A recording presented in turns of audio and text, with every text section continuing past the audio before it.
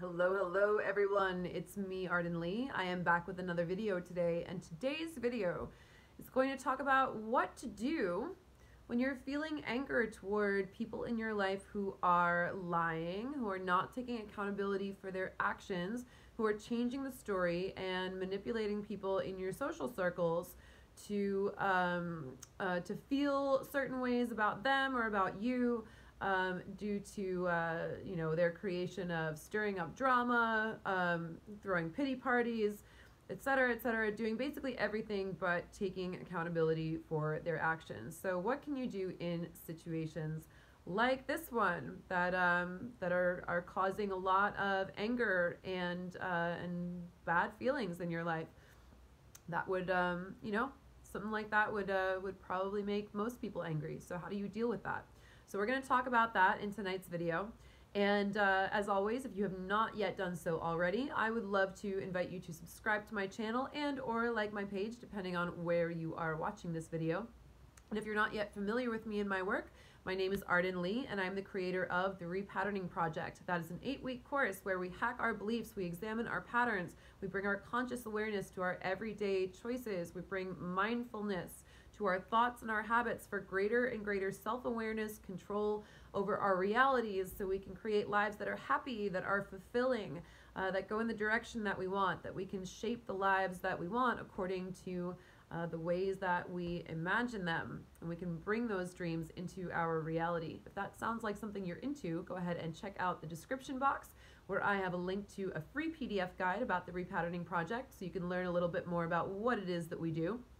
And I also have a link to the Repatterning Parlor, which is a free Facebook group that I moderate, which you are absolutely welcome to join. Come and say hi. Uh, we are a group of like minded individuals who are all trying to gain more and more sovereignty and creative freedom and empowerment over creating the lives that we desire. And as you know, surrounding yourself with people who share the same beliefs that you also want to start assimilating into your own patterns is uh, one of the crucial ways of, uh, of moving forward in your personal growth. So we would love to see you there. Come and join us. All right, so for today, we're going to talk about um, what to do when someone is stirring shit up and it's making you mad, right? Um, this was uh, this was from a person who uh, who is a member of the group. Um, and uh, uh, who asked this question. And you know, I, I said, hey, I'm you know I'm making some videos again this week. So if anyone has a specific subject that you'd like me to talk about, it's another reason to join the group, by the way, is because you can submit requests for video content. Uh, and uh, and this person answered and said, you know, how do you release anger toward uh, someone who's a narcissist, who's a, a liar, who's twisting the story, stirring up drama, and you know throwing pity parties for themselves and manipulating everyone's uh, perception of the uh, the external circumstances. And it was clear just from the way they worded it i was like wow this is you're you you're pretty attached to this situation. This sounds you know you sound like you're you're still carrying a lot of anger and attachment to it. And that's understandable uh, because i've been in there you know i've been in situations like that. And uh, and yeah it'll it'll make you mad you know? It'll it'll be incredibly incredibly frustrating and it'll feel really unfair because someone is projecting a narrative onto you and trying to spread that narrative throughout your social circles that you just don't align with whatsoever. That is, you know, untrue about you. That doesn't take into uh, into account um, their own responsibility for whatever they did in, in the situation. And you know, there are situations where things like this happen that are that really require us to deal with them, right? If this is, for example, a work situation where your own job performance, uh, you know, or your your own livelihood, your reputation at work is at stake because of something that someone is doing or rumors that they're spreading about you, then absolutely that is something that you want to address head on. You want to go to HR, you want to start, you know, keeping formal, uh, you know, uh, documenting formal complaints, you know, if that's something that you're that you're able to do, and uh, uh, and set the record straight, you know, and go on and and use whatever uh, whatever power you have in that situation to to take back control of the narrative in that in a way that retains integrity, right? There's also situations where um, that are that are really difficult to get through. Where let's say it's you know um, an angry uh, an angry ex um, using you know your your your custody schedule of your child to get back at you, right? You have someone who is an angry ex partner who is making things up, um, you know, calling child protective services on you, saying that you know I don't know. My dad once, you know, wrote this really like angry letter to the court about the fact that my mom had made me an undercooked grilled cheese sandwich for dinner. Like he was just looking for anything to, you know, to say like that my mom was an unfit parent or, or something like that. It was just, you know, just crazy and yeah, that'll that'll make you super angry and that's something that you're going to want to have to deal with, right? If there are actual repercussions happening for you. But I want to allow you also a degree of freedom for those kind of situations that um, that don't have similar repercussions, that are really just people trying to stir up shit in your social circles and influence your friends and your acquaintances' perception of you. People who are, you know, going on and projecting narratives around you that, that aren't true making stupid Facebook posts about you, whatever it is. If it's not something that it's affecting your livelihood or, you know, affecting your relationships with your loved ones, um, especially, uh, especially, you know, you know, your loved ones who, you know, if, if, it's affecting something like your relationship with your child where there's, you know, um, legal, uh, legal custody battles involved, that's something that's really serious. But if it's just affecting the opinions of the grown ass adults in your circles, I invite you to give yourself some more freedom from this because here's the reality. I know we hear this all the time. We hear that anyone who's doing things that are remarkable is going to get a lot of hate or flack or whatever anyone who is making strides in their progress, who's putting themselves out there, who's taking a strong stance on something, is going to attract um, hate or anger from people who disagree. They're going to trigger others who are unwilling to do the same amount of growth in themselves. And those people, in order to keep their ego intact, in order to keep their worldview intact, in order to keep their deluded self perception intact, will go out of their way to make up stories that they might even, on some level, have convinced themselves into believing because their protection of their self created ego identity as someone who is not participating in the actual real narrative that is happening, as someone who is not you know, responsible for the things that they ought to be responsible for. Um, that means more to them than really dipping into the truth. And the truth of the situation is that, as we're seeing now, there is so much more reward and so much more um, positive encouragement and reinforcement for those people who actually are taking accountability. So we're lucky to live in times where the world is rapidly evolving toward integrity. And the world is rapidly evolving in its discernment what is integrity and what is not. And that's why we're seeing, for example, um, all these people who, uh, you know, there's there's plenty of there's plenty of movements where it's happening but just let's take the me too movement for example there are all these people who are coming out with their their stories regarding the me too movement and there are all these people who have been accused who are reacting in very old paradigm ways well we'll just spin this a different way like kevin spacey well i'll just come out and i'll you know i'll say oh i'm sorry if that happened but by the way i'm i'm gay right let me distract from the real thing by by making a narrative that actually has nothing to do with the situation, right? Oh, you can't attack me for sexual assault because I just told you I'm gay. So no one's buying it anymore, right? Louis C.K. came out with a really half-assed apology regarding the women in comedy that he assaulted. And people looked at it and said that's not good enough. You know, you can do better. There are people who actually took his apology and edited it with like a red pen and said, here is how you actually make a good apology. And there have been people in our spheres, whether they're celebrities or in our own social circles, who have taken this feedback to heart and who have said, I'm going to do the accountability, I'm going to do the work, and I'm going to come into taking responsibility for, for what I did.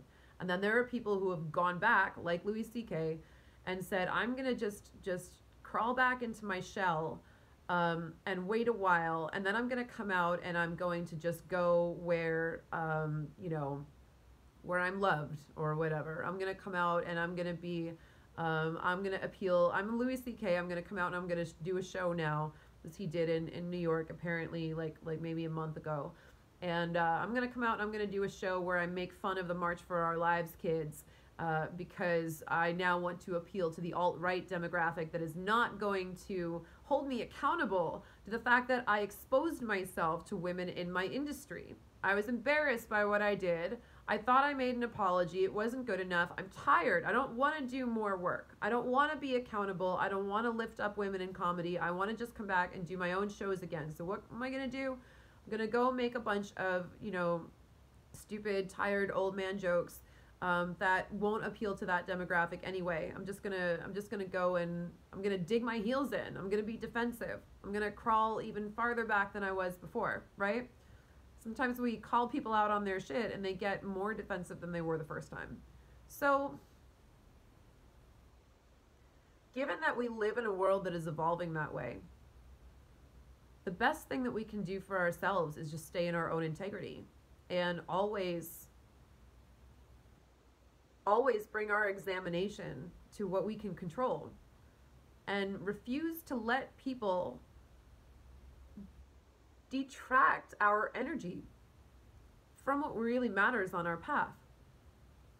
There are people in my life who, well, they're not in my life anymore, but there were people who were in my life for certain points during my own growth process who very clearly got triggered by some things that I was doing for myself. And ultimately, I was like, that wasn't about you. This is about me. You know, this is not whatever it is that you're making up that has you have a problem with. Like, you're not. This this this isn't affecting you in any way, or it shouldn't be because this is just me doing things for myself. If I was coming off and doing something that was annoying you, or that you know whatever you know, if there was something, if there was a vi- a boundary of yours that I was violating, then of course I'd want to hear about it. But I'm sitting here and I'm listening, and and no, this is actually just about me and my own choices that are none of your business. And if that's triggering to you, then you know that's what's going to happen, and they're going to make up a whole bunch of stories that are about you being the villain, right? They're going to make you into the bad guy because they don't want to take responsibility for the way that what you're doing is making them feel because what you're doing has nothing to do with them.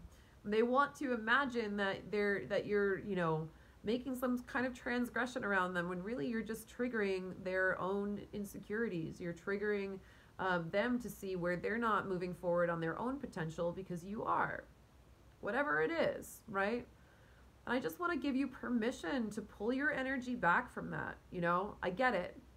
Like I said, I read that the comment um, that the person uh, left there, and I was like, wow, they really—they're. I'm hearing like, well, they're a liar, they're a narcissist, and, and all this stuff. And, and you guys, you know, the, the whole narcissist thing is a really useful archetype for us to look at, but I really, I'm really wary of, um, of just coming out and full on calling people uh, narcissists, you know, because it paints them in this again, it's this binary black and white thing, right? I'd rather say this person exhibits narcissistic tendencies, this person displays narcissistic behavior. But again, if we're if we're just, you know, if we just paint someone with one one color, then it's like anything they do becomes the actions of a narcissist, right? We don't allow for growth, we don't allow for change and I'm, you know, I'm, I say that as someone who uh, was raised by a father who had extreme narcissistic tendencies that throughout the course of, of his entire adult life, he has not even tried to address. So um, even then, yeah, sure, you can use narcissist as a shorthand, but, but just really look at that and examine that and, and look at how much power you might be giving that person to, to have an effect on you. And what you really want to trust is that the people who love you and care about you aren't going to believe a whole bunch of bullshit stories that someone's making up and spreading about you, you know? you can feel free to reach out to the people close to you and set the record straight and say, hey, just so you know, like this is going on right now. Here's what I perceive is happening. This is the story that they're telling. That's not how I remembered it. You know, that's not how it went down. Um, if you have any questions about it, I'm happy to be transparent about it, but I just want to let you know that this is going on and, you know, don't believe the hype. Whatever, whatever, uh, whatever it is, whatever it is that you choose to, to say. Ultimately, as you're growing, as your bandwidth is increasing, as your reach is increasing, as your message is becoming more impactful, you're going to find that more and more. It's just a fact of life. The difference is you're going to be surrounded more and more by people who also love you and support you and see the light that you're bringing to the world. People who would never in a million years believe some, you know, toxic behaving person's account of, of who you are or what you did. It's important to surround yourself with people who care about you enough to see through the bullshit that other people are spreading. If you don't have a good circle of friends, then yes, that would be a problem. That would be a real big issue because all of a sudden someone is spreading lies about you. And all of a sudden your whole circle turns on you. And I've had that happen to me too in my 20s, you know? What you want to establish for yourself is that community that loves you and supports you and wants you to be your best and holds you accountable to being in your integrity, but isn't swayed by the opinions of small minded people who are going around gossiping about you. You want to surround yourself with people who, whenever they hear someone gossiping about someone else, immediately say, What does this say about the person saying this? Right? What does it say about you? Right? Ultimately, we make choices to where we put our energy. And if we're constantly giving energy to the people who are leeching it off of us by um, by stirring shit up in our social circles, then all of that becomes energy that we're not using for ourselves to do our own work in the world. And in a weird way, we're kind of letting them win, right? If we call back our energy and say, I know I did nothing wrong in this situation. I've really sat with it. I've really examined myself and my actions. I've learned, you know, what maybe I could have done better, you know, in some small ways from what this situation is teaching me sometimes the thing that I could have done better was not be friends with someone like you who's going to project a whole bunch of stuff on me, right? Maybe that was it. If you sit with that and you know that you're in your integrity, you can say, you know what? I'm in my integrity, and I'm going to attract people to me who are also in their integrity and who are walking the same path that I am.